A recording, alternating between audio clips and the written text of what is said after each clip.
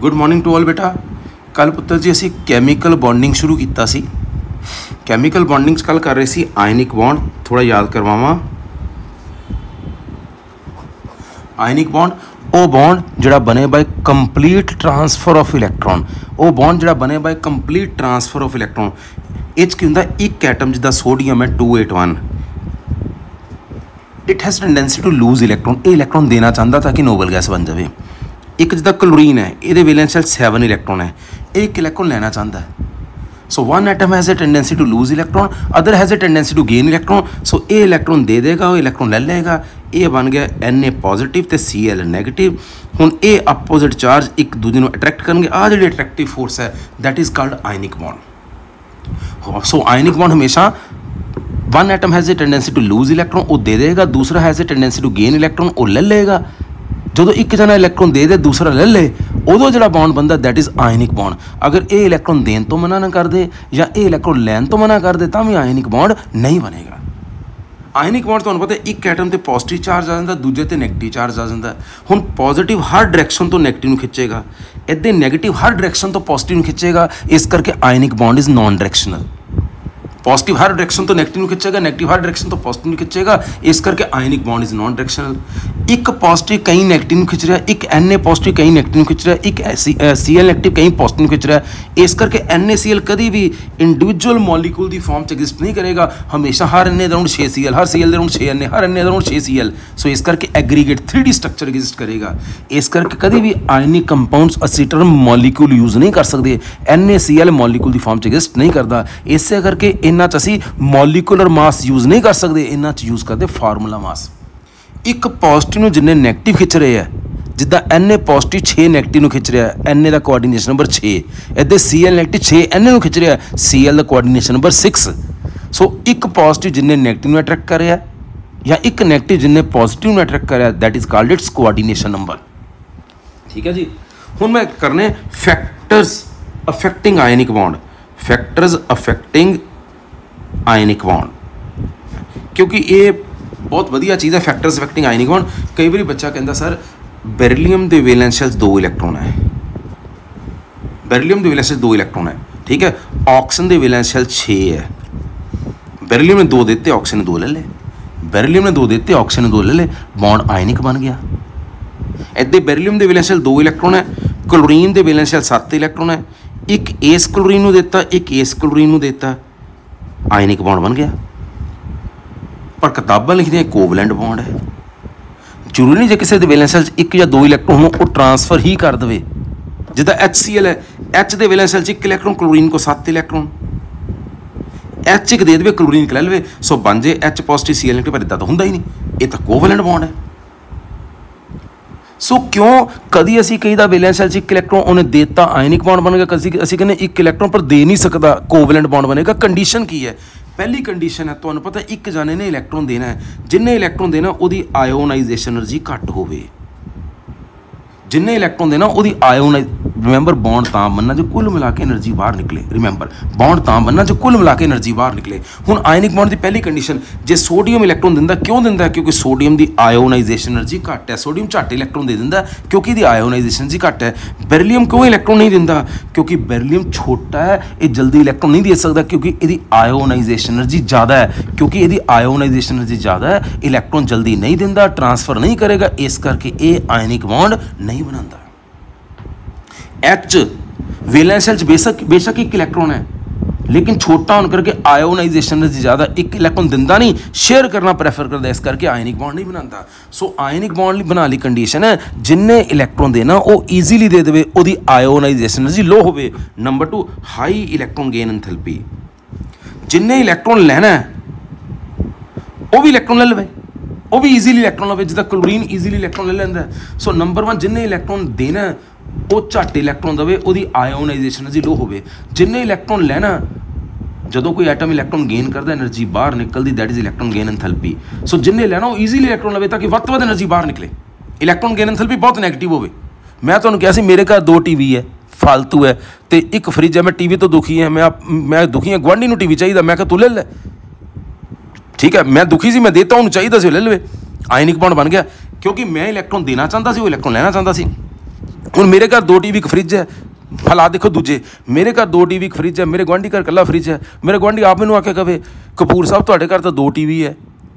ਤੁਸੀਂ ਕੀ ਕਰਨੇ, ਦੁਖੀ ਹੋਵੋਗੇ? ਦੋ ਟੀਵੀ ਚਾਰ ਬੰਦੇ ਕੋਈ ਕਿੱਥੇ ਬੈਠਦਾ ਹੋਊਗਾ ਕਿੱਥੇ ਬੈਠਦਾ ਹੋਊਗਾ? ਛੱਡੋ ਪਰ ਟੀਵੀ ਮੈਨੂੰ ਦੇ ਦਿਓ। ਮੈਂ ਕਿਹਾ, ਕਿਉਂ? ਤੈਨੂੰ ਕਿਉਂ ਦਵਾਂ?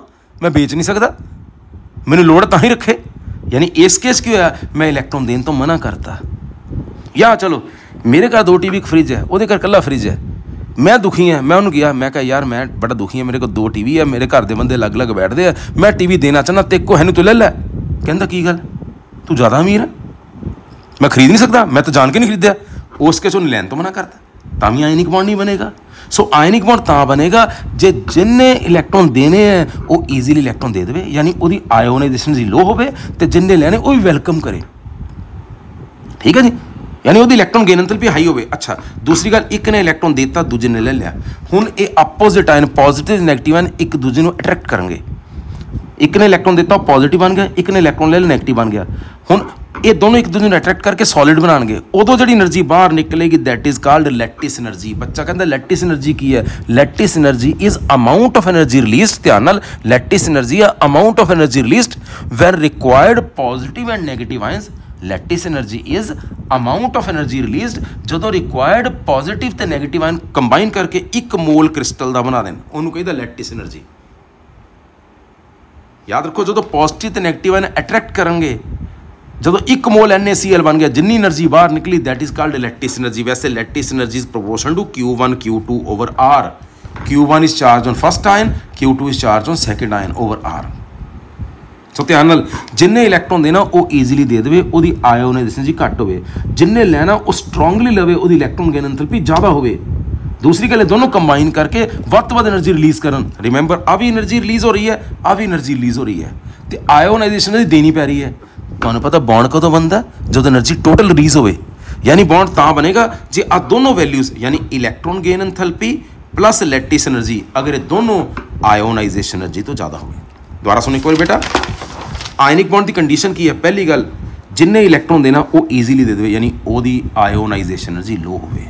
ਨੰਬਰ 2 ਜਿੰਨੇ ਇਲੈਕਟ੍ਰੋਨ ਲੈਣਾ ਹੈ, ਉਹ ਈਜ਼ੀਲੀ ਲਵੇ ਤਾਂ ਕਿ ਵੱਧ ਤੋਂ ਵੱਧ એનર્ਜੀ ਬਾਹਰ ਨਿਕਲੇ, ਯਾਨੀ ਉਹਦੀ ਇਲੈਕਟ੍ਰੋਨ ਗੇਨ ਮਤਲਬ ਵੀ ਹਾਈ ਹਾਈ ਮੀਨਸ ਬਹੁਤ ਨੈਗੇਟਿਵ ਤੀਸਰੀ ਗੱਲ ਐਨਏ ਪੋਜ਼ਿਟਿਵ ਸੀਐਲ ਨੈਗੇਟਿਵ ਬਣ ਕੇ ਇੱਕ ਦੂਜੇ ਨੂੰ ਖਿੱਚਣਗੇ। ਖਿੱਚਣਗੇ એનર્ਜੀ ਬਾਹਰ ਨਿਕਲੇਗੀ। ਜਦੋਂ ਪੋਜ਼ਿਟਿਵ ਤੇ ਨੈਗੇਟਿਵ ਆਇਨ ਇੱਕ ਦੂਜੇ ਨੂੰ ਅਟਰੈਕਟ ਕਰਨ, ਇੱਕ ਮੋਲ ਕ੍ਰਿਸਟਲ ਦਾ ਬਣ ਜਾਏ, ਜਿੰਨੀ એનર્ਜੀ ਬਾਹਰ ਨਿਕਲਦੀ that is call lattice energy ਵੱਧ ਤੋਂ ਵੱਧ ਇਲੈਕਟ੍ਰਿਕ એનર્ਜੀ ਬਾਹਰ ਨਿਕਲੇ। ਆ ਵੀ ਇਲੈਕਟ੍ਰਿਕ એનર્ਜੀ ਵੀ ਬਾਹਰ ਨਿਕਲ ਰਹੀ ਹੈ ਇਲੈਕਟ੍ਰੋਨ ਗੇਨ ਅੰਤਰ ਵੀ ਬਾਹਰ ਨਿਕਲ ਰਹੀ ਹੈ। ਅਗਰ ਇਹ ਦੋਨੋਂ ਕੁੱਲ ਮਿਲਾ ਕੇ ਆਇਓਨਾਈਜੇਸ਼ਨ એનર્ਜੀ ਤੋਂ ਜ਼ਿਆਦਾ ਹੋਣ, ਤਾਂ ਆਇਨਿਕ ਬੌਂਡ ਬਣੇਗਾ, ਨਹੀਂ ਤਾਂ ਆਇਨਿਕ ਬੌਂਡ ਨਹੀਂ ਬਣੇਗਾ, ਕਿਉਂਕਿ ਇਹ ਦੋਨੋਂ ਬਾਹਰ ਨਿਕਲ ਰਹੀਆਂ, ਇਹ એનર્ਜੀ ਦੇਣੀ ਪੈ ਰਹੀ। ਅਗਰ ਕੁੱਲ ਮਿਲਾ ਕੇ એનર્ਜੀ ਬਾਹਰ ਨਿਕਲੇ, ਤਾਂ ਆਇਨਿਕ ਬੌਂਡ ਬਣੇਗਾ। ਬੈਰਲੀਅਮ ਆਇਨਿਕ ਬੌਂਡ ਕਿਉਂ ਨਹੀਂ ਬਣਾਉਂਦਾ? ਕਿਉਂਕਿ ਉਹਦੀ ਆਇਓਨਾਈਜੇਸ਼ਨ ਜੀ ਇੰਨੀ ਜ਼ਿਆਦਾ ਕਿ ਇਹਨਾਂ ਦੋਨਾਂ ਤੋਂ ਜ਼ਿਆਦਾ ਹੋ ਜਾਂਦੀ ਹੈ।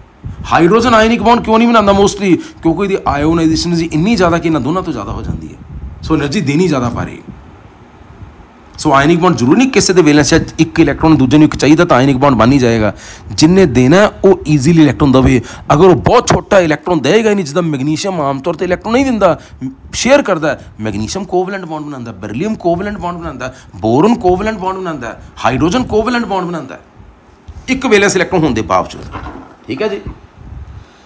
ਸੋ ਆਇਨਿਕ ਬੌਂਡ ਕਦੋਂ ਬਣੇਗਾ? ਜਦੋਂ lattice energy plus electron gain enthalpy is more than ionisation energy lattice energy ਹੁੰਦੀ ਹੈ? ਜਦੋਂ ਰਿਕੁਆਇਰਡ ਨੰਬਰ ਆਫ ਪੋਜ਼ਿਟਿਵ ਤੇ ਨੈਗੇਟਿਵ ਆਇਨ ਕੰਬਾਈਨ ਕਰਕੇ ਇੱਕ ਮੋਲ ਸੋਲਿਡ ਦਾ ਬਣਾ ਦੇਣ, ਤਾਂ ਜਿਹੜੀ એનર્ਜੀ ਬਾਹਰ ਨਿਕਲਦੀ ਹੈ that is called lattice energy ਇਹਦੇ ਬਾਅਦ ਹੈ ਪ੍ਰੋਪਰਟੀਜ਼ ਆਫ ਆਇਨਿਕ ਕੰਪਾਊਂਡ ਬੇਟਾ ਆਇਨਿਕ ਕੰਪਾਊਂਡ ਦੇ ਕਰੈਕਟਰ ਕੀ ਹੈ?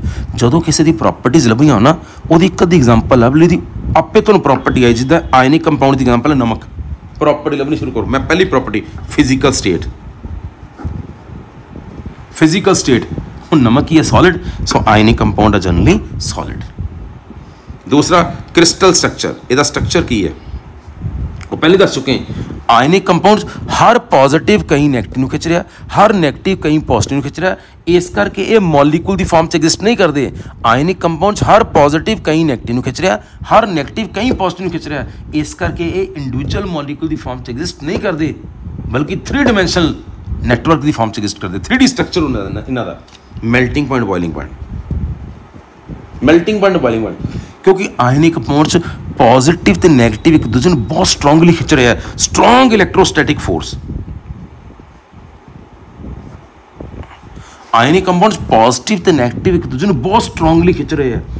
ਤੋੜਨ ਲਈ ਬਹੁਤ એનર્ਜੀ ਚਾਹੀਦੀ ਹੈ। ਇਸ ਕਰਕੇ ਇਹਨਾਂ ਦਾ ਮੈਲਟਿੰਗ ਪੁਆਇੰਟ ਬੋਇਲਿੰਗ ਪੁਆਇੰਟ ਬਹੁਤ ਜ਼ਿਆਦਾ ਹੁੰਦਾ ਹੈ। ਨਮਕ ਨੂੰ ਪੇਗਲ ਦੇ ਕਦੇ ਦੇਖਿਆ ਹੀ ਨਹੀਂ ਹੋਊਗਾ, ਕਿਉਂਕਿ ਆਇਨੀ ਕੰਪਾਉਂਡ ਦਾ ਮੈਲਟਿੰਗ ਪੁਆਇੰਟ ਬੋਇਲਿੰਗ ਪੁਆਇੰਟ ਬਹੁਤ ਜ਼ਿਆਦਾ ਹੁੰਦਾ ਹੈ।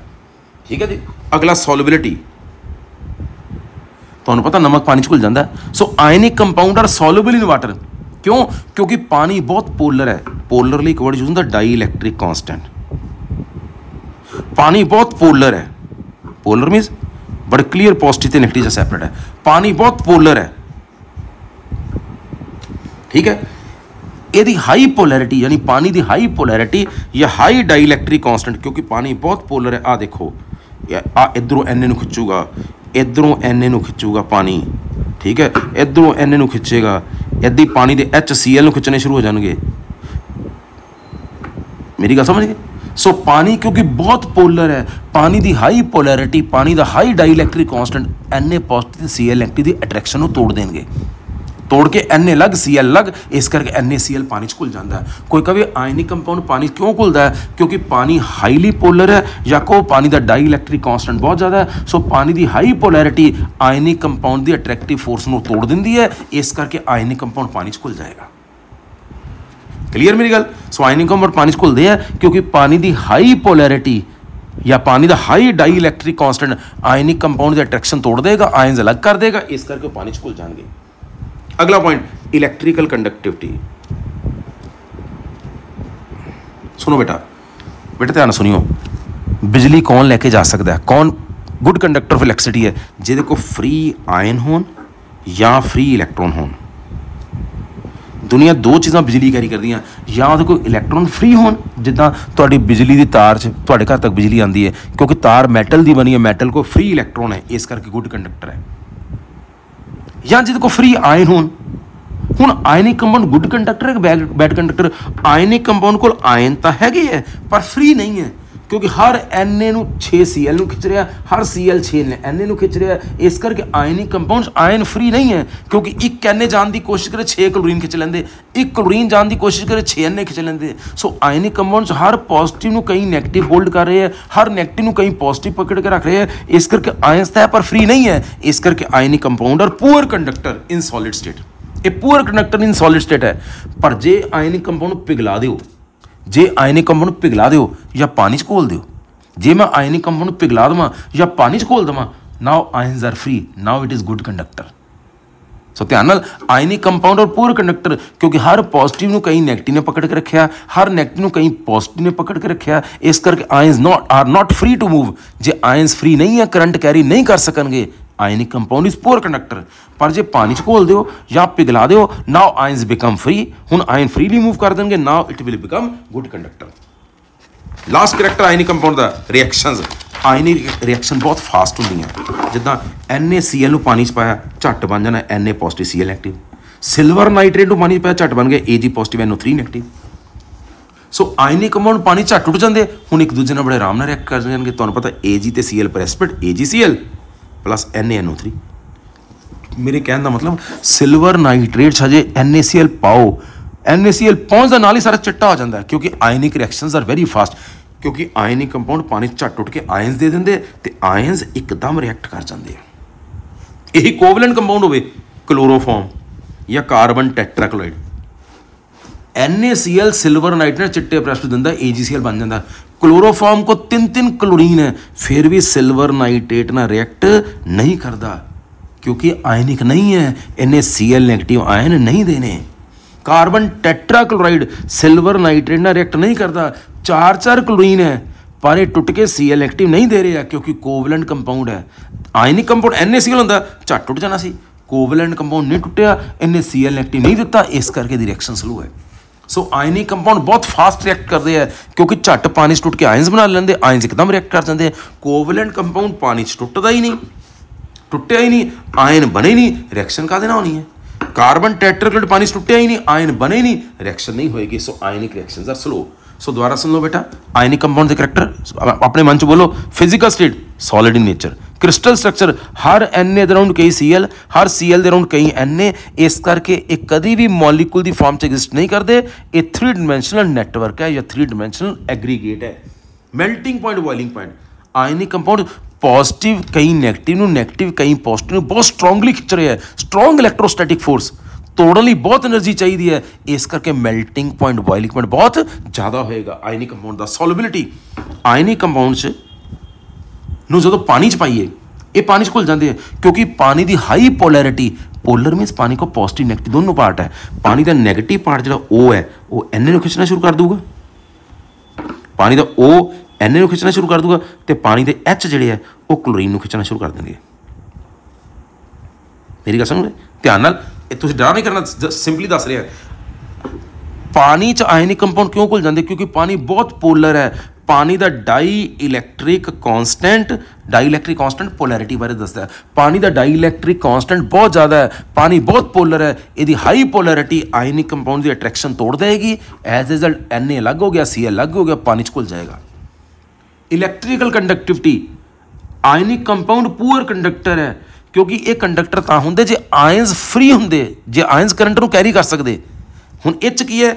ਆਇਨ ਤਾਂ ਹੈਗਾ, ਪਰ ਫ੍ਰੀ ਨਹੀਂ ਹੈ, ਕਿਉਂਕਿ ਹਰ Na ਪੋਜ਼ਿਟਿਵ ਨੂੰ 6 Cl ਨੈਗੇਟਿਵ ਨੇ ਫੜਿਆ, ਹਰ Cl ਨੈਗੇਟਿਵ ਨੂੰ 6 Na ਨੇ ਫੜਿਆ, ਇਸ ਕਰਕੇ ਮੂਵ ਕਰ ਹੀ ਨਹੀਂ ਸਕਦੇ।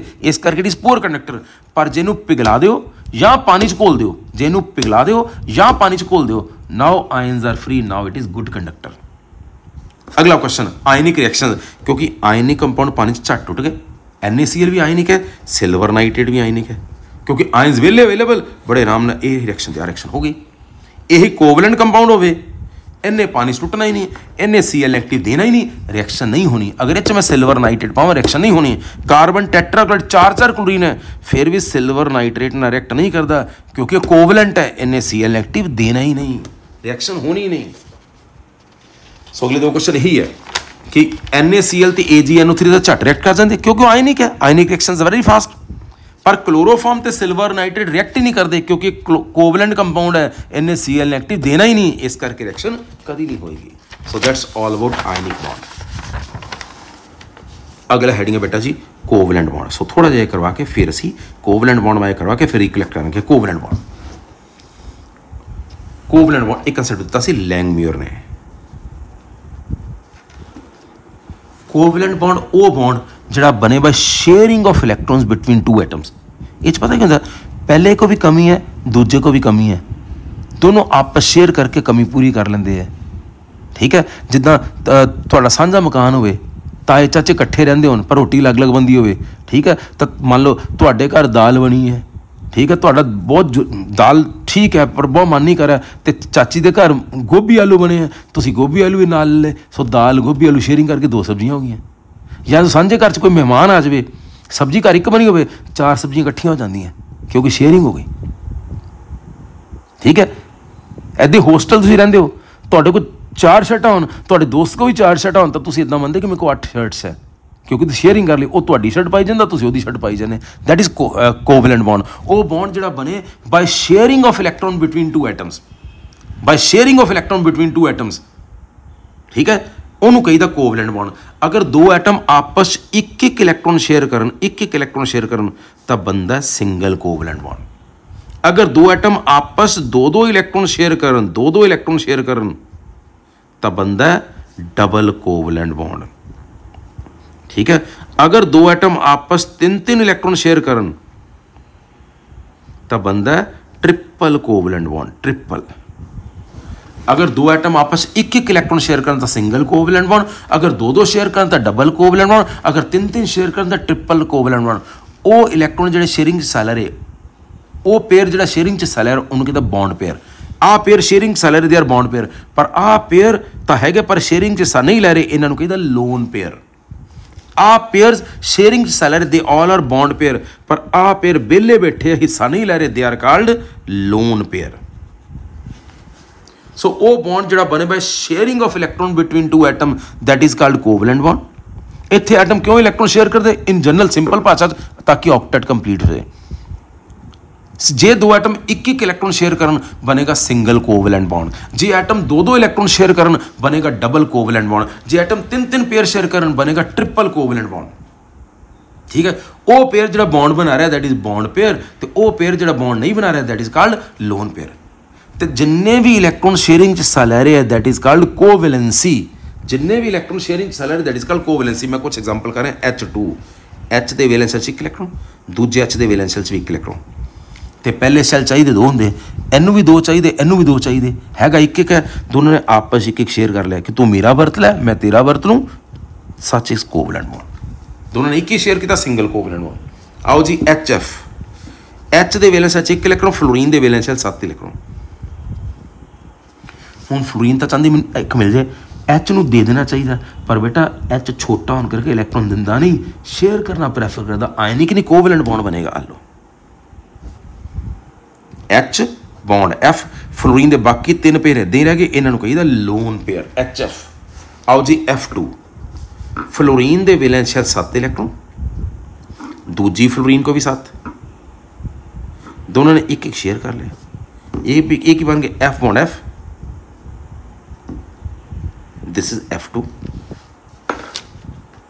ਆ ਬੌਂਡ ਪੇਅਰ ਆ ਕੀ ਬਣ ਗਏ? ਲੋਨ ਪੇਅਰ O2 O ਦੇ ਵੈਲੈਂਸ ਸ਼ੈਲ 6 ਇਲੈਕਟ੍ਰੋਨ ਦੋ ਚਾਹੀਦੇ। ਇਸ ਕਰਕੇ ਨੇ ਦੋ ਸਾਹਮਣੇ ਰੱਖਤੇ ਕਿ ਦੋ ਮੈਨੂੰ ਚਾਹੀਦੇ, ਦੋ ਕੋਈ ਲੈ ਕੇ ਆ ਜਾਵੇ। ਆ ਲਓ, ਦੂਜੀ ਆਕਸ਼ਨ ਨੂੰ ਦੋ ਚਾਹੀਦੇ।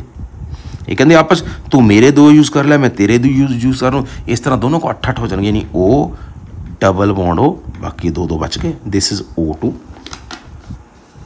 ਪਾਣੀ ਦੇਖੋ, ਪਾਣੀ। ਆਕਸੀਜਨ ਦੇ ਵੈਲੈਂਸ 6 ਇਲੈਕਟ੍ਰੋਨ H ਕੋਲ ਇੱਕ, ਦੂਜੇ H ਕੋਲ ਇੱਕ। ਆਕਸੀਜਨ ਕਿਸੇ ਦੋ ਚਾਹੀਦੇ, ਹਰ H ਨੂੰ ਇੱਕ ਇੱਕ ਚਾਹੀਦਾ। ਇੱਕ ਏਸ H ਨਾਲ ਸ਼ੇਅਰ ਕਰ ਲਿਆ, ਇੱਕ ਏਸ H ਨਾਲ ਸ਼ੇਅਰ ਕਰ ਲਿਆ। ਕੀ ਬਣ ਗਿਆ? O, ਇੱਧਰ ਵੀ H ਤੇ ਇੱਧਰ ਵੀ H ਪਾਣੀ। ਨਾਈਟ੍ਰੋਜਨ ਨਾਈਟ੍ਰੋਜਨ ਦੇ ਵੈਲੈਂਸ ਸ਼ੈਲ ਚ 5 ਇਲੈਕਟ੍ਰੋਨ ਤਿੰਨ ਚਾਹੀਦੇ। ਜਿੰਨੇ ਚਾਹੀਦੇ ਉਹਨੇ ਸਾਹਮਣੇ ਸਜਾ ਕੇ ਰੱਖ ਦੇ ਤਾਂ ਕਿ ਲੋਕੀ ਵੀ ਉਹਨੇ ਲੈ ਕੇ ਆ ਜਾਣ। ਨਾਈਟ੍ਰੋਜਨ ਕੋ 5 ਤਿੰਨ ਚਾਹੀਦੇ। ਆ ਲਓ, ਇੱਧਰ ਵੀ ਤਿੰਨ। ਇਹਨੂੰ ਵੀ ਤਿੰਨ ਚਾਹੀਦੇ, ਇਹਨੂੰ ਵੀ ਤਿੰਨ ਚਾਹੀਦੇ, ਆਪਸ ਤਿੰਨ ਤਿੰਨ ਸ਼ੇਅਰ ਕਰ ਲੈ। So n triple bond n lone pair and so this is covalent bond ਹੋਰ ਵੀ ਸਟਰਕਚਰ ਉਸੇ ਪਰ ਆਪਾਂ ਜ਼ਿਆਦਾ ਡਰਾ ਨਹੀਂ ਕਰਨੇ। ਦਿਸ ਇਜ਼ ਕੋਵਲੈਂਟ ਬੌਂਡ ਉਹ ਬੌਂਡ ਜਿਹੜਾ ਬਣੇ ਬਾਈ ਸ਼ੇਅਰਿੰਗ ਸ਼ੇਅਰਿੰਗ ਹਰ ਇੱਕ ਦਾ ਆਕਟੇਟ ਕੰਪਲੀਟ ਹੋ ਜਾਏ that is called covalent bond ਹੁਣ ਤੁਹਾਨੂੰ ਆਇਨਿਕ ਬੌਂਡ ਬਣਾਤਾ ਕੋਵਲੈਂਟ ਬੌਂਡ ਕਰਵਾਤਾ। ਮੈਂ ਕੁਝ ਐਗਜ਼ਾਮਪਲ ਕਰੂੰਗਾ ਜਿਸ ਚ ਆਇਨਿਕ ਕੋਵਲੈਂਟ ਦੋਨੋਂ ਪ੍ਰੈਜ਼ੈਂਟ ਹੁੰਦੇ। ਜਿੱਦਾਂ NaOH ਧਿਆਨ ਨਾਲ। Na ਦੇ ਵੈਲੈਂਸ ਚ ਇੱਕ ਇਲੈਕਟ੍ਰੋਨ O ਦੇ ਵੈਲੈਂਸ 6 ਮੈਂ ਜਾਣ ਕੇ ਇਦਾਂ ਲਿਖਦਾ ਪਿਆ ਬੇਟਾ, ਇਦਾਂ 6 Na ਦੇ ਵੈਲੈਂਸ ਚ ਇੱਕ ਇਲੈਕਟ੍ਰੋਨ ਸੀ, O ਕੋਲ 6 N ਨੇ ਇੱਕ O ਨੂੰ ਦਿੱਤਾ। O ਕੋਲ 7 ਹੋ ਗਏ, ਹੁਣ O ਨੂੰ ਇੱਕ ਚਾਹੀਦਾ। O ਕੋਲ 6 ਸੀ, N ਨੇ ਦਿੱਤਾ 7 ਹੋ ਗਏ, ਇੱਕ ਚਾਹੀਦਾ O ਨੂੰ। ਤੇ H ਕੋਲ ਵੀ ਇੱਕ ਹੈਗਾ, H ਨੂੰ ਵੀ ਇੱਕ ਚਾਹੀਦਾ। ਇੱਕ O ਨੂੰ ਚਾਹੀਦਾ, ਇੱਕ H ਨੂੰ ਚਾਹੀਦਾ, ਆਪ ਸ਼ੇਅਰ ਕਰ ਲੈ। ਯਾਨੀ ਇਹ ਕੀ ਬਣ ਗਿਆ? Na positive O H negative. This is ionic bond and covalent bond. So NaOH ਵਿੱਚ ਆਇਨਿਕ ਵੀ ਹੈ, covalent ਵੀ ਹੈ। NaCN ਧਿਆਨ ਨਾਲ NaCN ਗੌਰ ਨਾਲ ਦੇਖਿਓ ਬੇਟਾ। Na ਦੇ ਵੈਲੈਂਸ ਵਿੱਚ ਇੱਕ ਇਲੈਕਟ੍ਰੋਨ C ਕੋਲ 4 ਹੈ, ਇੱਕ ਨੇ ਦਿੱਤਾ। 4 ਤੇ ਕਿੰਨੇ ਹੋ ਗਏ? 5 ਦੇਖੋ 4 ਆਪਣੇ ਸੀ 5 ਹੋ ਗਏ। ਤਿੰਨ ਚਾਹੀਦੇ, ਮੈਂ ਤਾਂ ਕਰਕੇ ਤਿੰਨ ਇੱਧਰ ਲਿਖਿਆ। ਐਨੇ ਕੋਈ ਇੱਕ ਸੀਗਾ, ਇਹਨੇ ਦਿੱਤਾ। ਕਾਰਬਨ ਕੋ 4 ਸੀ ਕਾ ਗਿਆ 5 ਹੋ ਗਏ। ਤਿੰਨ ਚਾਹੀਦੇ। ਇਹਨੇ ਤਿੰਨ ਇੱਕ ਸਾਈਡ ਤੇ ਰੱਖੇ। ਨਾਈਟ੍ਰੋਜਨ ਵੀ ਤਿੰਨ ਚਾਹੀਦੇ। तो ਕਾਰਬਨ ਤੇ ਨਾਈਟ੍ਰੋਜਨ ਤਿੰਨ ਤਿੰਨ ਸ਼ੇਅਰ ਕਰ ਲਏ ਸੋ ਕੀ ਬਣਿਆ ਬੇਟਾ? ਦੇਖੋ ਜਰਾ। ਐਨ ਏ ਪੋਜ਼ਿਟਿਵ ਸੀ ਤਿੰਨ ਸੀਗੇ, ਦੋ ਆ ਗਏ, ਪੰਜ ਹਲੋ C ਨਾਲ ਕਿਹੜਾ ਚਾਰਜ ਹੋ ਗਿਆ negative Na positive C negative ionic bond ਬਣ ਗਿਆ। ਕੈਲਸ਼ੀਅਮ ਕਾਰਬਾਈਡ ਦੇਖੋ ਜਰਾ। ਬਹੁਤ ਇੰਪੋਰਟੈਂਟ ਐਗਜ਼ਾਮਪਲ ਕੈਲਸ਼ੀਅਮ ਕਾਰਬਾਈਡ। ਇਹ ਤੁਹਾਨੂੰ ਯਾਦ ਆ ਜਾਏਗਾ ਬਚਪਨ ਦੀ ਰਿਐਕਸ਼ਨ ਕਿ ਕੈਲਸ਼ੀਅਮ ਕਾਰਬਾਈਡ ਚ ਪਾਣੀ ਪਾਓ ਐਸੀਟਿਲਿਨ ਕਿਉਂ ਬਣਿਆ ਸੀ? ਆ ਕੈਲਸ਼ੀਅਮ ਕਾਰਬਾਈਡ। ਕੈਲਸ਼ੀਅਮ ਦੇ ਵੈਲੈਂਸ ਦੋ ਇਲੈਕਟ੍ਰੋਨ ਦੋ ਕਾਰਬਨ ਹੈ। ਇੱਕ ਇੱਕ ਕਾਰਬਨ ਨੂੰ ਦਿੱਤਾ, ਇੱਕ ਇੱਕ ਕਾਰਬਨ ਨੂੰ ਦਿੱਤਾ। ਕਾਰਬਨ ਨੂੰ 4 ਸੀ ਇੱਕ ਇੱਕ ਮਿਲ ਗਿਆ 5 5 ਹੋ ਗਏ। ਤਿੰਨ ਤਿੰਨ ਰਹਿ ਗਏ ਤਿੰਨ ਸਾਹਮਣੇ ਰੱਖ ਦਿਓ। ਧਿਆਨ ਨਾਲ ਕਾਰਬਨ ਨੂੰ 4 ਸੀ ਇੱਕ ਹੈਗਾ 5 5 ਹੋ ਗਏ। ਤਿੰਨ ਤਿੰਨ ਚਾਹੀਦੇ, ਤਿੰਨ ਤਿੰਨ ਆਪਾਂ ਸ਼ੇਅਰ ਕਰ ਲੈ ਕੀ ਬਣ ਗਿਆ ਬੇਟਾ? Calcium 2 positive C negative C negative ਆ ਟ੍ਰਿਪਲ ਇਸੇ ਕਰਕੇ ਜਦੋਂ ਇਹ ਚ ਪਾਣੀ ਪਾਣੇ ਆ, ਪਾਣੀ ਮੀਨਸ HOH ਇਹਨੂੰ H ਮਿਲ ਗਿਆ, ਇਹਨੂੰ OH HOH ਸੋ ਜਿਹਨੂੰ HH ਮਿਲ ਗਿਆ H C triple bond H ਐਸਿਟਰੀਨ ਬਣ ਜਾਏਗਾ। ਚਲੋ, ਫਿਲਹਾਲ ਗੌਰ ਨਹੀਂ ਕਰਨਾ। ਸੋ ਕਦੀ ਪੇਪਰ ਚ ਆ ਜੇ ਕਿਹੜੇ ਕਿਹੜੇ ਕੇਸ ਹੈ ਜਿਸ ਚ ਆਇਨਿਕ ਤੇ ਕੋਵਲੈਂਟ ਦੋਨੋਂ ਬੌਂਡ ਪ੍ਰੈਜ਼ੈਂਟ ਹੈ? N A O H N A C N C A C CaC2 ਇਹਨਾਂ ਚ ਆਇਨਿਕ ਤੇ ਕੋਵਲੈਂਟ ਦੋਨੋਂ ਬੌਂਡ ਪ੍ਰੈਜ਼ੈਂਟ ਹੈ। ਠੀਕ ਹੈ? ਇਹਨਾਂ ਕੇਸਿਸ ਚ ਆਇਨਿਕ ਤੇ ਕੋਵਲੈਂਟ ਦੋਨੋਂ ਬੌਂਡ ਪ੍ਰੈਜ਼ੈਂਟ ਹੈ। ਸੋ ਦੁਬਾਰਾ ਸੁਣੋ ਕੋਵਲੈਂਟ ਬੌਂਡ ਕੀ ਹੈ ਬੇਟਾ?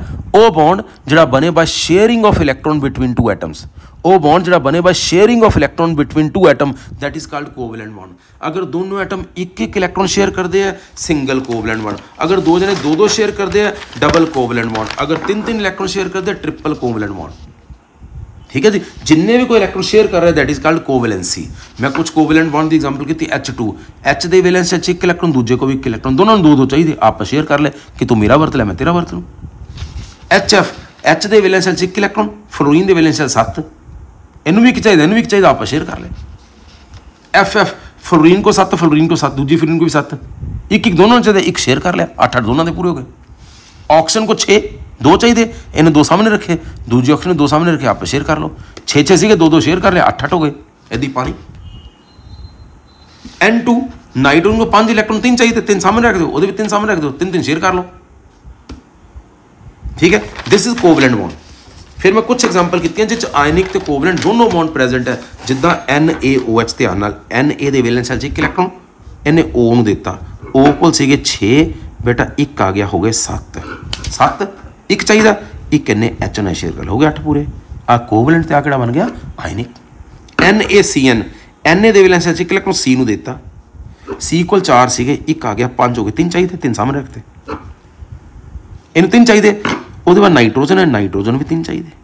ਆ ਤਿੰਨ ਤਿੰਨ ਸ਼ੇਅਰ ਕਰ ਲੈ ਆ ਬਣ ਗਿਆ ਕੋਵੈਲੈਂਟ ਆ ਬਣ ਗਿਆ ਆਇਨਿਕ। ਅਗਲਾ ਸੀਗਾ ਕੈਲਸ਼ੀਅਮ ਕਾਰਬਾਈਡ। ਕੈਲਸ਼ੀਅਮ ਦੇ ਵੈਲੈਂਸ ਦੋ ਇਲੈਕਟ੍ਰੋਨ, ਦੋ ਕਾਰਬਨ ਹੈ। ਇੱਕ ਇੱਕ ਕਾਰਬਨ ਨੂੰ ਦਿੱਤਾ, ਇੱਕ ਇੱਕ ਕਾਰਬਨ ਨੂੰ ਦਿੱਤਾ। ਕਾਰਬਨ ਕੋ ਚਾਰ ਚਾਰ ਸੀਗੇ, ਇੱਕ ਇੱਕ ਆ ਗਿਆ, ਪੰਜ ਪੰਜ ਹੋ ਗਏ। ਤਿੰਨ ਤਿੰਨ ਚਾਹੀਦੇ, ਤਿੰਨ ਤਿੰਨ ਸਾਹਮਣੇ ਰੱਖ ਦਿਓ।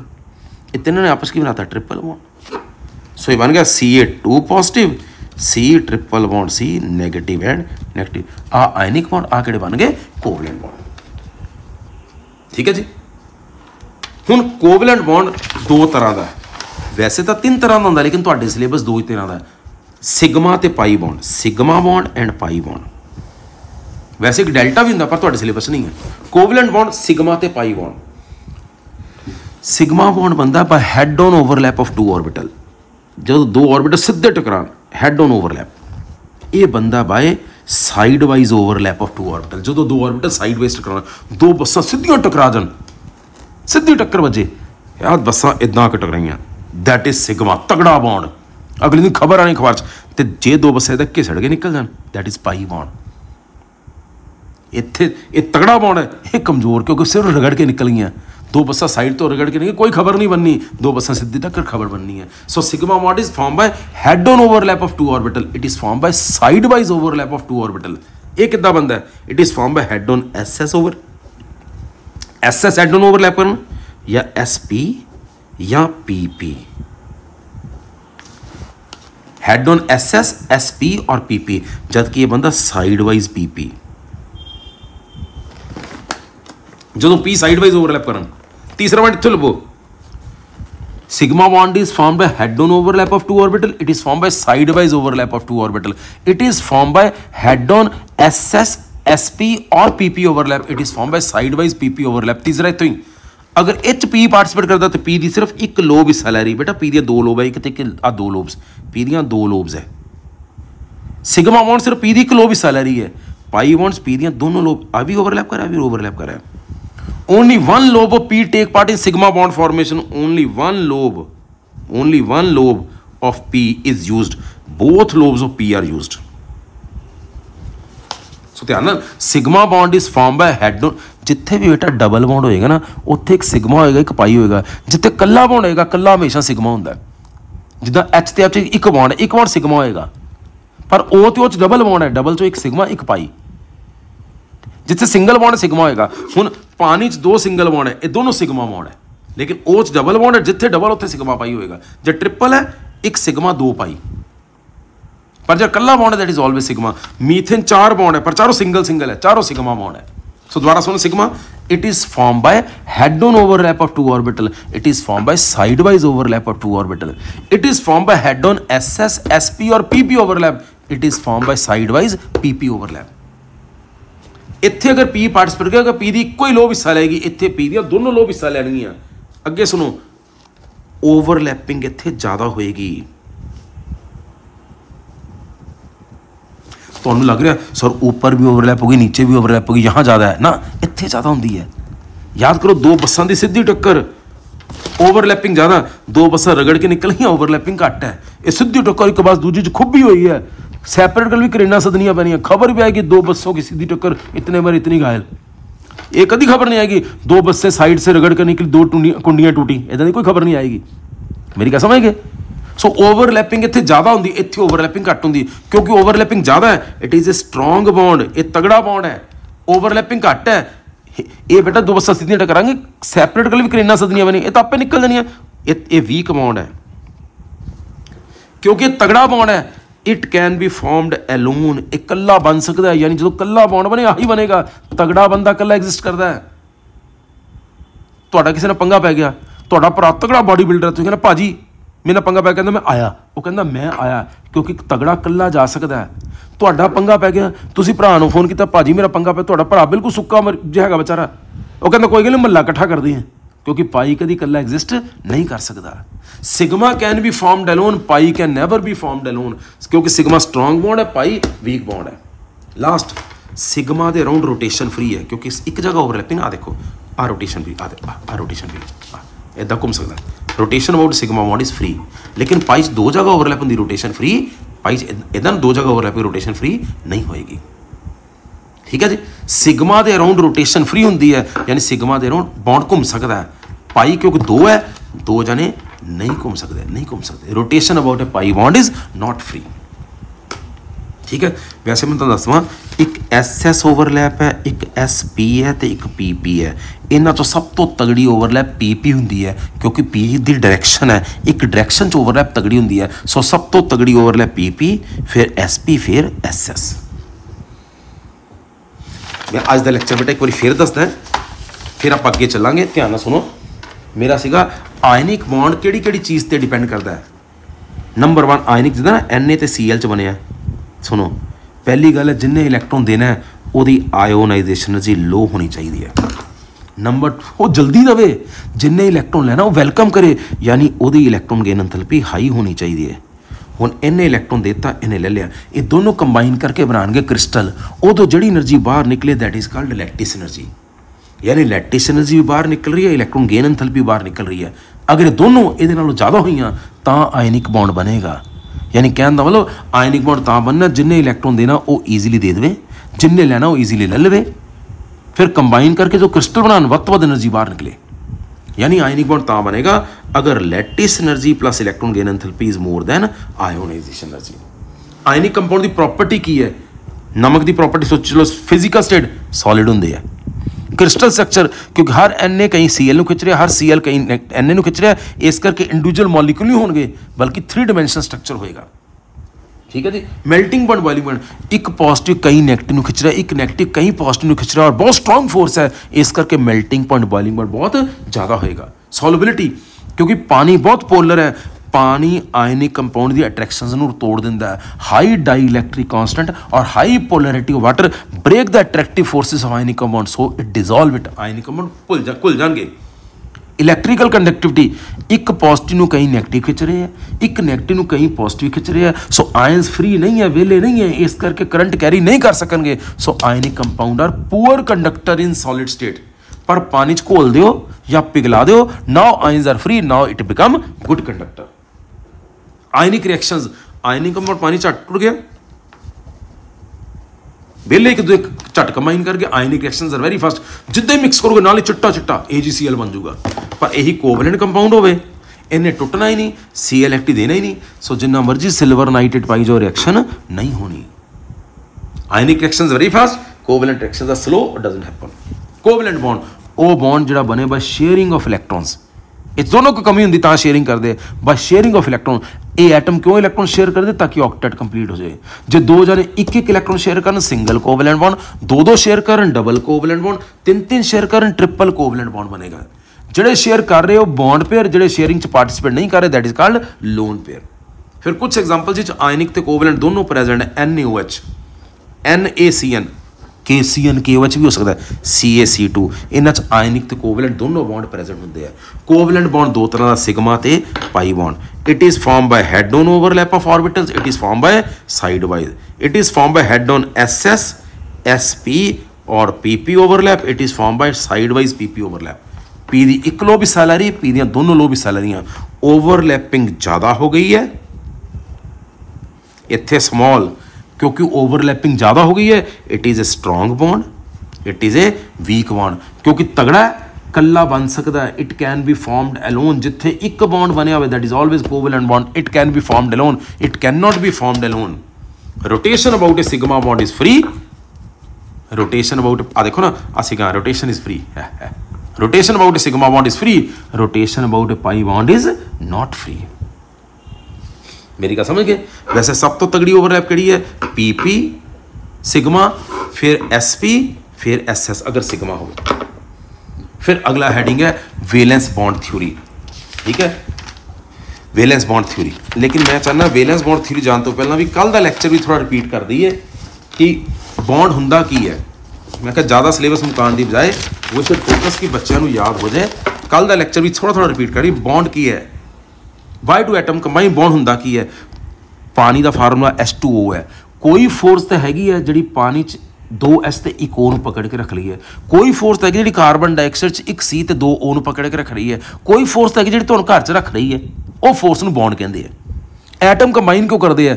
ਅਸੀਂ ਦੇਖਿਆ ਸਭ ਤੋਂ ਸਟੇਬਲ ਨੋਬਲ ਗੈਸ ਉਹਨਾਂ ਦੇ ਵੈਲੈਂਸ ਸ਼ੈਲ 'ਚ 8 ਇਲੈਕਟ੍ਰੋਨ ਇਹ ਬਹੁਤ ਸਟੇਬਲ ਹੈ। ਹਰ ਕੋਈ, ਹਰ ਐਟਮ ਚਾਹੁੰਦਾ ਜੇ ਮੇਰੇ ਵੀ ਵੈਲੈਂਸ ਸ਼ੈਲ 'ਚ 8 ਇਲੈਕਟ੍ਰੋਨ ਹੋ ਜਾਣ, ਮੈਂ ਵੀ ਸਟੇਬਲ ਹੋ ਜਾਊਂਗਾ। ਇਸ ਕਰਕੇ 8 ਇਲੈਕਟ੍ਰੋਨ ਪੂਰੇ ਕਰਨਾ, ਇਹਨੂੰ ਕਹਿੰਦਾ ਆਕਟੈਟ ਰੂਲ ਸੋ ਹਰ ਐਟਮ ਚਾਹੁੰਦਾ ਮੇਰੇ ਵੈਲੈਂਸ ਸ਼ੈਲ 'ਚ 8 ਇਲੈਕਟ੍ਰੋਨ ਪੂਰੇ ਹੋ ਜਾਣ, ਤਾਂ ਕਿ ਮੈਂ ਨੋਬਲ ਗੈਸ ਬਣ ਜਾਵਾਂ। ਪਰ ਕੀ ਇਹ ਫਾਈਨਲ ਰੂਲ ਹੈ? ਕਿ ਇਹੀ ਅਸਲੀ ਰੂਲ ਹੈ? ਨਹੀਂ। ਕਿਉਂਕਿ ਜੇ ਆਕਟੈਟ ਰੂਲ ਫਾਈਨਲ ਰੂਲ ਹੁੰਦਾ ਨੰਬਰ 1 ਜਿਹ ਹਾਈਡਰੋਜਨ ਹੈ, ਉਹ 'ਚ ਕਦੀ ਆਕਟੈਟ ਕੰਪਲੀਟ ਹੀ ਨਹੀਂ ਹੁੰਦਾ। ਨੰਬਰ 2 ਜੇ ਹਰੇਕ ਨੇ 8 ਇਲੈਕਟ੍ਰੋਨ ਪੂਰੇ ਕਰਨੇ ਹੁੰਦੇ, ਤਾਂ BeCl2 ਬਣਿਆ ਹੀ ਕਿਉਂ? ਬੈਰੀਲੀਅਮ ਦੇ ਵੈਲੈਂਸ ਸ਼ੈਲ 2 ਇਲੈਕਟ੍ਰੋਨ ਦੋ ਇਹਨੇ ਸ਼ੇਅਰ ਕਰ ਲਏ, ਦੋ ਤੇ ਦੋਗੇ 4 ਚਾਹੀਦੇ 8 ਸੀ 4 ਤੇ ਕਿਉਂ ਰੁਕ ਗਿਆ? BF3 ਬੋਰਨ ਦੇ ਵੈਲੈਂਸ ਸ਼ੈਲ 3 ਇਲੈਕਟ੍ਰੋਨ 3 ਸ਼ੇਅਰ ਕਰ ਲਏ ਤੇ ਤੇ 3 ਤੇ 3 6 ਜੇ 8 ਹੁੰਦੇ 6 ਤੇ ਕਿਉਂ ਰੁਕਿਆ ਅਗਲੀ ਗੱਲ, ਜੇ ਆਕਟੇਟ ਰੂਲ ਹੀ ਫਾਈਨਲ ਹੁੰਦਾ, ਤੇ ਕਈ ਵਾਰੀ ਸ਼ੇਅਰਿੰਗ ਕਰਕੇ 800 ਵੀ ਜ਼ਿਆਦਾ ਇਲੈਕਟ੍ਰੋਨ ਹੋ ਜਾਂਦੇ, ਜਿੱਦਾਂ PF5 ਫਾਸਫੋਰਸ ਕੋ 5 5 ਸ਼ੇਅਰ ਕਰ ਲਏ 5 ਤੇ 5 ਕਿੰਨੇ ਹੋ ਗਏ? 10 ਇਹਦੇ ਵੈਲੈਂਸ 10 ਇਲੈਕਟ੍ਰੋਨ ਹੋ ਗਏ, ਚਾਹੀਦੇ 8 ਸੀ। SF6 ਸਲਫਰ ਕੋ 6 ਤੇ 6 ਸ਼ੇਅਰ ਕਰ ਲਏ 6 ਤੇ 6 ਕਿੰਨੇ ਹੋ ਗਏ? 12 ਚਾਹੀਦੇ 8 ਸੀ, ਫਿਰ 12 ਤੇ ਕਿਉਂ ਪਹੁੰਚ ਗਿਆ? IF7 ਆਇਓਡੀਨ ਦੇ ਵੈਲੈਂਸ 7 ਇਲੈਕਟ੍ਰੋਨ 7 ਸ਼ੇਅਰ ਕਰ ਲਏ 7 ਤੇ 7 14 ਚਾਹੀਦੀ 8 ਸੀ 14 ਤੇ ਕਿਉਂ ਪਹੁੰਚ ਗਿਆ? ਅਗਲਾ ਪੁਆਇੰਟ ਹਰ ਕੋਈ ਨੋਬਲ ਗੈਸ ਬਣਨਾ ਚਾਹੁੰਦਾ ਸੀ ਕਿਉਂਕਿ ਨੋਬਲ ਗੈਸ ਸਟੇਬਲ ਰਿਐਕਟ ਨਹੀਂ ਕਰਦੇ, ਬਾਅਦ ਚ ਪਤਾ ਲੱਗਾ ਨੋਬਲ ਗੈਸ ਤਾਂ ਆਪ ਹੀ ਕੰਪਾਊਂਡ ਬਣਾਈ ਜਾਂਦੇ ਫਿਰ ਨੋਬਲ ਗੈਸ ਕਿਉਂ ਬਣਨਾ? ਤੇ ਲਾਸਟ ਜੇ ਆਕਟੇਟ ਰੂਲ ਹੀ ਫਾਈਨਲ ਰੂਲ ਹੁੰਦਾ, ਤੇ ਔਡ ਇਲੈਕਟ੍ਰੋਨ ਵਾਲੇ ਮੋਲੀਕੂਲ ਬਣਨੇ ਹੀ ਨਹੀਂ ਚਾਹੀਦੇ ਸਿੱਧਾ NO NO2 O2 1 ਨੈਗੇਟਿਵ ਇਹ ਸਾਰੇ ਔਡ ਵਾਲੇ ਆ। ਫਿਰ ਤਾਂ ਇਹ ਐਗਜ਼ਿਸਟ ਹੀ ਨਹੀਂ ਕਰਨੇ ਚਾਹੀਦੇ ਸੀ। ਠੀਕ ਹੈ ਜੀ? So octet rule final rule ਨਹੀਂ ਹੈ। ਫਿਰ ਅਸਲੀ ਰੂਲ ਕੀ ਹੈ? ਅਸਲੀ ਰੂਲ ਹੈ ਕਿ ਜਦੋਂ ਦੋ ਐਟਮ ਨਜ਼ਦੀਕ ਆਉਂਦੇ ਆ ਕੁਝ ਨਵੀਆਂ ਅਟਰੈਕਸ਼ਨਸ ਆਉਂਦੀਆਂ ਕੁਝ ਨਵੀਆਂ ਰਿਪਲਸ਼ਨਸ ਆਉਂਦੀਆਂ। ਧਿਆਨ ਨਾਲ ਬੇਟਾ, ਜਦੋਂ ਅਟਰੈਕਸ਼ਨ ਹੁੰਦੀ ਹੈ એનર્ਜੀ ਬਾਹਰ ਨਿਕਲਦੀ ਹੈ। ਜਦੋਂ ਰਿਪਲਸ਼ਨ ਹੁੰਦੀ એનર્ਜੀ ਵੱਧਦੀ ਹੈ, ਤੇ ਜਦੋਂ એનર્ਜੀ ਬਾਹਰ ਨਿਕਲੇ ਤਾਂ ਬੌਂਡ ਬਣਦਾ ਹੈ। ਯਾਨੀ ਜਦੋਂ ਦੋ ਐਟਮ ਨਜ਼ਦੀਕ ਆਏ ਕੁਝ ਅਟਰੈਕਸ਼ਨ ਆਈਆਂ ਕੁਝ ਰਿਪਲਸ਼ਨ ਆਈਆਂ। ਜੇ ਅਟਰੈਕਸ਼ਨ ਤਗੜੀਆਂ ਹੁੰਦੀਆਂ, ਤਾਂ ਕੁੱਲ ਮਿਲਾ ਕੇ એનર્ਜੀ ਬਾਹਰ ਨਿਕਲਣੀ ਸੀ ਬੌਂਡ ਬਣ ਜਾਣਾ ਸੀਗਾ। ਤੇ ਜੇ ਰਿਪਲਸ਼ਨ ਤਗੜੀਆਂ ਹੁੰਦੀਆਂ, ਤੇ એનર્ਜੀ ਵੱਧ ਜਾਣੀ ਸੀ ਬਾਉਂਡ ਨਹੀਂ ਬਣਨਾ ਸੀ।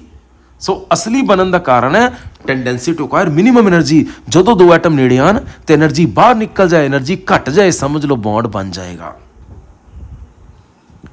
ਜੇ ਕਿਸੇ ਕੋ ਬੈਠੋ, ਗੱਪਾਂ ਛੱਪਾਂ ਮਾਰਨ ਦਿਲ ਕਰੇ, ਗੱਲਾਂ ਕਰਨ ਨੂੰ ਦਿਲ ਕਰੇ, ਸਮਝ ਲਓ ਤੁਹਾਡਾ ਦੋਸਤ ਬਣ ਜਾਏਗਾ, ਕਿਉਂਕਿ એનર્ਜੀ ਰਿਲੀਜ਼ ਹੋ ਰਹੀ ਹੈ। ਜੇ ਕਿਸੇ ਨੂੰ ਦੇਖ ਕੇ ਖਿਜੀ ਵਿੱਚ ਚੜੀ ਜਾਵੇ, ਉਹਦੇ ਨਾਲ ਬੌਂਡ ਨਹੀਂ ਬਣਨਾ, ਕਿਉਂਕਿ એનર્ਜੀ ਵੱਧ ਰਹੀ ਹੈ।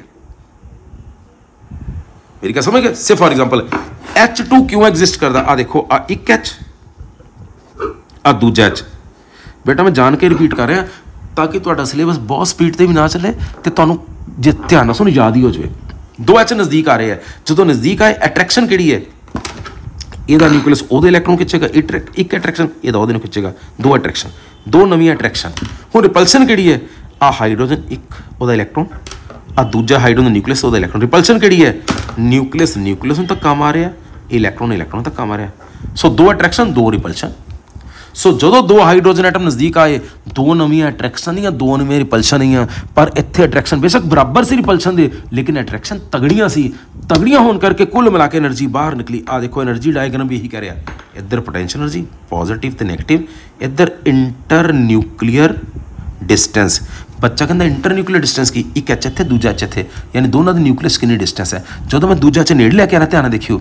ਜਦੋਂ ਮੈਂ ਦੂਜਾ ਚ ਨੇੜੇ ਕਹਿ ਰਿਹਾ એનર્ਜੀ ਘਟੀ ਜਾ ਰਹੀ, ਘਟੀ ਜਾ ਰਹੀ, ਘਟੀ ਜਾ ਰਹੀ, ਇੱਕ ਜਗ੍ਹਾ ਆ ਕੇ એનર્ਜੀ ਬਿਲਕੁਲ ਘਟ ਗਈ। ਜਿੱਥੇ એનર્ਜੀ ਬਿਲਕੁਲ ਘਟ ਗਈ, ਉੱਥੇ ਬੌਂਡ ਬਣ ਗਿਆ। ਉੱਤੋਂ ਨੇੜੇ ਲੈ ਕੇ ਆਓਗੇ ਫਿਰ ਬੌਂਡ ਟੁੱਟ ਜਾਊਗਾ। ਯਾਨੀ ਇੱਥੇ ਬੌਂਡ ਬਣ ਚੁੱਕਾ। ਕਿਉਂਕਿ ਜਦੋਂ ਦੋ ਐਚ ਨਜ਼ਦੀਕ ਆ ਰਿਹਾ એનર્ਜੀ ਘਟ ਰਹੀ ਹੈ। ਠੀਕ ਹੈ ਜੀ? ਪਰ ਇਹੀ He2 ਦੀ ਗੱਲ ਕਰੀਏ। He2 ਕਿਉਂ ਐਗਜ਼ਿਸਟ ਨਹੀਂ ਕਰਦਾ? He2 ਕਿਉਂ ਐਗਜ਼ਿਸਟ ਨਹੀਂ ਕਰਦਾ? ਆ ਦੇਖੋ। ਹੀਲੀਅਮ ਦੇ ਨਿਊਕਲੀਅਸ ਦੋ ਪ੍ਰੋਟੋਨ ਆ ਦੋ ਇਲੈਕਟ੍ਰੋਨ ਆ ਦੂਜਾ ਹੀਲੀਅਮ। ਮੈਂ ਇੱਕੋ ਡਾਇਗਰਾਮ ਅਟਰੈਕਸ਼ਨ ਪਰਸਨ ਦੋਨੋਂ ਸ਼ੋ ਕਰ ਰਿਹਾ ਪਹਿਲਾਂ ਗੱਲ ਕਰੋ ਅਟਰੈਕਸ਼ਨ ਦੀ। ਆ ਨਿਊਕਲੀਅਸ ਦੋਨੋਂ ਇਲੈਕਟ੍ਰੋਨ ਅਟਰੈਕਟ ਕਰੇਗਾ। ਇਹਦਾ ਨਿਊਕਲੀਅਸ ਉਹਦੇ ਇਲੈਕਟ੍ਰੋਨ, ਇਹਦਾ ਨਿਊਕਲੀਅਸ ਉਹਦੇ ਇਲੈਕਟ੍ਰੋਨ। ਠੀਕ ਹੈ? ਕਿੰਨੀ ਅਟਰੈਕਸ਼ਨ ਹੋ ਗਈ ਚਾਰ ਅਟਰੈਕਸ਼ਨ ਰਿਪਲਸ਼ਨ ਅਲੱਗ ਹੀ ਡਾਇਗਰਾਮ ਬਣਾ ਦਿੰਦੇ ਯਾਰ ਨੇ ਕਲੇਸ਼ ਪੈ ਜਾਣਾ।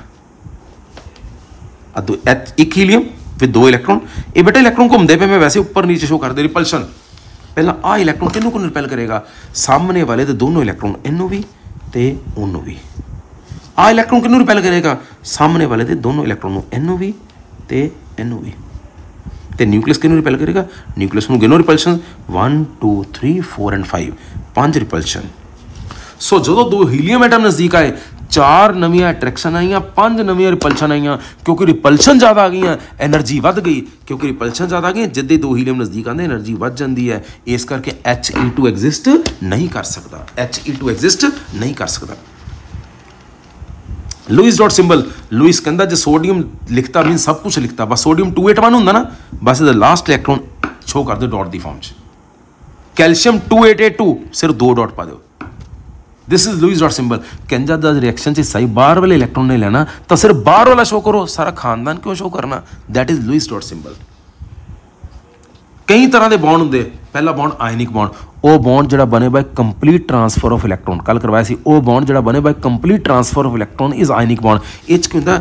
One atom has tendency to lose electron ਇਹ ਇੱਕ ਇਲੈਕਟ੍ਰੋਨ ਕਿਉਂਕਿ ਇਹ ਸੋਡੀਅਮ 281 ਹੈ ਨਾ, ਅਗਰ ਇੱਕ ਦੇ ਦੇ ਤਾਂ ਨੋਬਲ ਗੈਸ ਬਣ ਜਾਏਗਾ। ਇਹ ਇੱਕ ਇਲੈਕਟ੍ਰੋਨ ਦੇਣਾ ਚਾਹੁੰਦਾ ਹੈ। One atom has a strong tendency to lose electron other atom chlorine 287 ਸੱਤ ਹੈ ਨਾ ਦੇਖੋ ਇਹਨੂੰ ਇੱਕ ਚਾਹੀਦਾ other atom has strong tendency to tendency to gain electron one atom has a strong tendency to lose electron ਇਹ electron lose ਕਰ ਦੇਗਾ positive ion other atom has a tendency to gain electron ਉਹ electron gain ਕਰ ਲਏਗਾ ਉੱਤੇ ਆ ਜਾਏਗਾ negative charge ਇਹ positive negative ਤੋਂ ਖਿੱਚਣਗੇ ਆ ਜਿਹੜੀ attractive force ਹੈ that is called ionic bond ਇੱਕ ਨੇ ਜਿੰਨੇ ਦਿੱਤੇ ਜਾਂ ਦੂਜੇ ਨੇ ਜਿੰਨੇ ਲਿੱਤੇ that is that is that electrovalency ਹੁਣ ਇਹ ਜਿਹੜਾ ਇਲੈਕਟ੍ਰੋਨ ਦੇ ਰਿਹਾ, ਉੱਤੇ ਆ ਜਾਂਦਾ ਪੋਜ਼ਿਟਿਵ ਚਾਰਜ ਜਿਹੜਾ ਲੈ ਰਿਹਾ, ਉੱਤੇ ਆ ਜਾਂਦਾ ਪੋਜ਼ਿਟਿਵ ਚਾਰਜ ਔਰ ਖਿਆਲ ਰੱਖੋ ਆਇਨਿਕ ਕੰਪਾਊਂਡ ਚ ਪੋਜ਼ਿਟਿਵ ਚਾਰਜ ਹਮੇਸ਼ਾ ਮੈਟਲ ਤੇ ਆਂਦਾ ਹੈ 네ਗੇਟਿਵ ਚਾਰਜ ਹਮੇਸ਼ਾ ਨਾਨ ਮੈਟਲ ਤੇ ਆਂਦਾ ਹੈ। ਹਮੇਸ਼ਾ ਕਟਾਇਨ ਮੈਟਲ ਹੋਏਗੀ। ਮੈਟਲ ਇਜ਼ ਕਟਾਇਨ ਬਸ ਅਮੋਨੀਅਮ ਇਜ਼ ਇਕਲੌਤੀ ਨਾਨ ਮੈਟਲ ਕਟਾਇਨ ਜਿਹੜੀ ਆਇਨਿਕ ਬੌਂਡ ਬਣਾਉਂਦੀ ਹੈ। ਅਮੋਨੀਅਮ ਇਜ਼ ਇਕਲੌਤੀ ਨਾਨ ਮੈਟਲ ਕਟਾਇਨ ਜਿਹੜੀ ਆਇਨਿਕ ਬੌਂਡ ਬਣਾਉਂਦੀ ਹੈ। ਹੁਣ ਇੱਕ ਨੇ ਇਲੈਕਟ੍ਰੋਨ ਦਿੱਤਾ ਪੋਜ਼ਿਟਿਵ ਦੂਜੇ ਨੇ ਇਲੈਕਟ੍ਰੋਨ ਦਿੱਤਾ 네ਗੇਟਿਵ ਆ ਗਿਆ। ਹੁਣ ਪੋਜ਼ਿਟਿਵ ਹਰ ਡਾਇਰੈਕਸ਼ਨ ਤੋਂ 네ਗੇਟਿਵ ਨੂੰ ਖਿੱਚ ਰਿਹਾ 네ਗੇਟਿਵ ਹਰ ਡਾਇਰੈਕਸ਼ਨ ਤੋਂ ਪੋਜ਼ਿਟਿਵ ਨੂੰ ਖਿੱਚ ਰਿਹਾ, ਇਸ ਕਰਕੇ ionic bond is non directional ਠੀਕ ਹੈ ਜੀ? ਪੋਜ਼ਿਟਿਵ ਕਿਉਂਕਿ ਕਈ 네ਗੇਟਿਵ ਨੂੰ ਖਿੱਚ ਰਿਹਾ 네ਗੇਟਿਵ ਕਈ ਪੋਜ਼ਿਟਿਵ ਨੂੰ ਖਿੱਚ ਰਿਹਾ, ਇਸ ਕਰਕੇ ਕਦੀ ਵੀ ਮੋਲੀਕੂਲ ਦੀ ਫਾਰਮ 'ਚ ਐਗਜ਼ਿਸਟ ਨਹੀਂ ਹੁੰਦੇ। ਅੱਜ ਵੀ ਕਰਵਾਇਆ ਮੋਲੀਕੂਲ ਦੀ ਫਾਰਮ 'ਚ ਐਗਜ਼ਿਸਟ ਨਹੀਂ ਹੁੰਦੇ, ਬਲਕਿ 3 ਡਾਈਮੈਂਸ਼ਨਲ ਨੈਟਵਰਕ ਹੁੰਦਾ ਹੈ। ਇੱਕ ਪੋਜ਼ਿਟਿਵ ਜਿੰਨੇ ਵੀ 네ਗੇਟਿਵ ਨੂੰ ਖਿੱਚ ਰਿਹਾ, ਜਿੱਦਾਂ ਇੱਕ ਸੋਡੀਅਮ 6 ਕਲੋਰੀਨ ਨੂੰ ਖਿੱਚ ਰਿਹਾ ਸੋਡੀਅਮ ਦਾ ਕੁਆਰਡੀਨੇਸ਼ਨ ਨੰਬਰ 6 ਕਲੋਰੀਨ 6 ਸੋਡੀਅਮ ਨੂੰ ਖਿੱਚ ਰਿਹਾ ਕਲੋਰੀਨ ਦਾ ਕੁਆਰਡੀਨੇਸ਼ਨ ਨੰਬਰ 6 ਹੈ। This is ionic bond condition ਇਹ ਮੈਂ ਦੱਸ ਦਿੱਤੀ ਕਿ ਜਿੰਨੇ ਇਲੈਕਟ੍ਰੋਨ ਦੇਣਾ ਉਹਦੀ ਆਇਓਨਾਈਜੇਸ਼ਨ ਐਨਰਜੀ ਲੈਸ ਹੋਵੇ, ਜਿੰਨੇ ਇਲੈਕਟ੍ਰੋਨ ਲੈਣਾ ਉਹਦੀ ਇਲੈਕਟ੍ਰੋਨ ਗੇਨ ਐਂਥੈਲਪੀ ਹਾਈ ਹੋਵੇ ਤੇ ਦੋਨਾਂ ਨੇ ਮਿਲ ਕੇ ਕ੍ਰਿਸਟਲ ਬਣਾਣਾ ਲੈਟਿਸ એનર્ਜੀ ਵੱਧ ਤੋਂ ਵੱਧ ਹੋਵੇ। ਜਦੋਂ ਲੈਟਿਸ એનર્ਜੀ ਤੇ ਇਲੈਕਟ੍ਰੋਨ ਗੇਨ ਐਂਥੈਲਪੀ ਇੱਕ ਤੋਂ ਜ਼ਿਆਦਾ ਹੋਗੀ ਤਾਂ ਆਇਨਿਕ ਬੌਂਡ ਬਣੇਗਾ, ਨਹੀਂ ਤਾਂ ਆਇਨਿਕ ਬੌਂਡ ਨਹੀਂ ਬਣੇਗਾ। ਠੀਕ ਹੈ ਜੀ, ਇਹ ਆਇਨਿਕ ਬੌਂਡ ਦੀ ਕੰਡੀਸ਼ਨ ਹੈ, ਤੁਹਾਨੂੰ ਕਰੈਕਟਰ ਦੱਸਦੇ ਆ ਸਿਗਮਾ ਪਾਈਸ ਡਿਫਰੈਂਸ ਦੱਸਦਾ ਹੈ। ਬੇਟਾ ਇੰਨਾ ਪੜੋ ਜੇ ਕੋ ਡਾਊਟ ਹੈ ਮੈਨੂੰ ਲਿਖ ਕੇ ਜ਼ਰੂਰ ਭੇਜੋ। ਸ਼ਾਬਾਸ਼। ਮੈਨੂੰ ਪਤਾ ਆਨਲਾਈਨ ਥੋੜਾ ਮੁਸ਼ਕਲ ਹੁੰਦਾ ਇਸੇ ਕਰਕੇ ਅਸੀਂ ਥੋੜਾ ਜਿਹਾ ਨਾਲ ਦੀ ਨਾਲ ਰਿਵੀਜ਼ਨ ਵੀ ਕਰਵਾ ਰਹੇ ਹਾਂ। ਵਿੱਚ ਵਿੱਚ ਕਦੀ ਕਦੀ ਐਨਸੀਆਰਟੀ ਕੁਐਸਚਨ ਕਰਵਾਤੇ ਜਾਂ ਕੁਛ ਇਦਾਂ ਕਰਤਾ ਤਾਂ ਕਿ ਤੁਹਾਡੇ ਤੇ ਉਹ 6 ਦੇ 6 ਦਿਨ ਦਾ ਬੋਝ ਨਾ ਪਵੇ। ਇਦਾਂ ਕਰਾਂਗੇ ਤਾਂ ਕਿ ਇੱਕ ਦਿਨ ਅਸੀਂ ਐਨਸੀਆਰਟੀ ਦੇ ਕੁਐਸਚਨ ਡਿਸਕਸ ਕਰ ਲਏ, ਕਦੀ ਆਬਜੈਕਟਿਵ ਡਿਸਕਸ ਕਰ ਲਏ ਤਾਂ ਕਿ 6 ਦਿਨ ਚੋਂ 4-5 ਦਿਨ ਤੁਹਾਡਾ ਪੜਨ ਦਾ ਸਮਾਨ ਹੋਵੇ। ਤੇ ਜਦੋਂ ਪੜਾਵਾਂਗੇ ਦੋ ਤਿੰਨ ਲੈਕਚਰ ਦੇ ਬਾਅਦ ਸਾਰਾ ਰਿਵਾਈਜ਼ ਕਰਵਾਵਾਂਗੇ ਜਾਂ ਹਫ਼ਤੇ 'ਚ ਇੱਕ ਦਿਨ ਰਿਵਾਈਜ਼ ਕਰਵਾ ਦਾਂਗੇ। ਮੇਰੇ ਕਹਿਣ ਦਾ ਮਤਲਬ ਹੈ, ਅਸੀਂ ਕਿਸ ਕੋਸ਼ਿਸ਼ ਕਰਾਂਗੇ ਕਿ ਤੁਹਾਡੇ ਤੇ ਆਨਲਾਈਨ ਦਾ ਬਹੁਤ ਜ਼ਿਆਦਾ ਬੋਝ ਨਾ ਪਏ, ਪਰ ਸੁਣਨ ਦੀ ਕੋਸ਼ਿਸ਼ ਬੇਟਾ ਜ਼ਰੂਰ ਕਰਿਓ। ਯੂ ਕੈਨ ਅੰਡਰਸਟੈਂਡ ਪ੍ਰੋਬਲਮ ਕਿ ਹੁਣ ਗਰਮੀ ਬਹੁਤ ਹੈ, ਸਰਕਾਰ ਨੇ ਸਕੂਲ ਬੰਦ ਕਰਤੇ ਤਾਂ ਕਿ ਬੱਚਿਆਂ ਦਾ ਨੁਕਸਾਨ ਨਾ ਹੋਵੇ। ਤੇ ਅਸੀਂ ਚਾਹੁੰਦੇ ਕਿ ਬੱਚਿਆਂ ਦਾ ਕਿਸੇ ਤਰ੍ਹਾਂ ਦਾ ਨੁਕਸਾਨ ਨਾ ਹੋਵੇ, ਪਰ ਉਹਦੇ ਲਈ ਬਹੁਤ ਜ਼ਰੂਰੀ ਹੈ, ਤੁਸੀਂ ਲੈਕਚਰ ਸੁਣੋ ਜ਼ਰੂਰ, ਕੋਸ਼ਿਸ਼ ਜ਼ਰੂਰ ਕਰੋ। ਹੋ ਸਕਦਾ ਸਾਡੀ ਸਪੀਡ 'ਚ ਕੋਈ ਫ਼ਰਕ ਪੈ ਰਿਹਾ ਹੋਵੇ, ਕਿਉਂਕਿ ਸਾਹਮਣੇ ਬੱਚੇ ਬੈਠੇ ਹੋਣ ਤਾਂ ਉਹਨਾਂ ਦੇ ਫੇਸ ਤੋਂ ਪਤਾ ਲੱਗ ਜਾਂਦਾ ਹੈ। ਠੀਕ ਹੈ? ਇੱਥੇ ਕੋਈ ਨਹੀਂ ਬੇਟਾ ਪਤਾ ਨਹੀਂ ਲੱਗਣਾ। ਸੋ ਯੂ ਟੈਲ ਅਸ ਸਾਨੂੰ ਮੈਸੇਜ ਲਿਖ ਕੇ ਭੇਜੋ ਕਿ ਤੇ ਸਪੀਡ ਤੇਜ਼ ਤਾਂ ਨਹੀਂ, ਜੇ ਤੇਜ਼ ਹੈ we can slow down still we are trying ਕਿ ਬਾਰ-ਬਾਰ ਰਿਪੀਟ ਕਰ ਸਕੀਏ, ਪਰ ਜੇ ਤੁਹਾਨੂੰ ਲੱਗੇ ਕਿ ਪੇਸ ਜ਼ਿਆਦਾ ਤੇਜ਼ ਹੈ ਜਾਂ ਕੁਝ ਵੀ, ਤੁਸੀਂ ਸੁਜੈਸ਼ਨ ਜ਼ਰੂਰ ਭੇਜੋ। We act accordingly thank you ਬੇਟਾ ਜੀ।